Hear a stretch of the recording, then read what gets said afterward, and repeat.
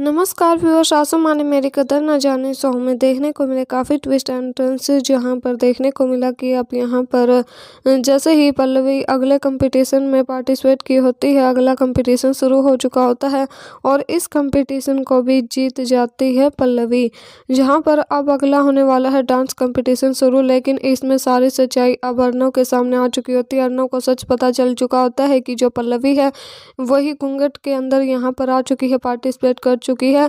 तो अब अर्नब का क्या फैसला होगा? क्या वो पल्लवी का साथ देगा? क्या उसके साथ करेगा डांस? क्या दोनों की जोड़ी जीत पाएगी?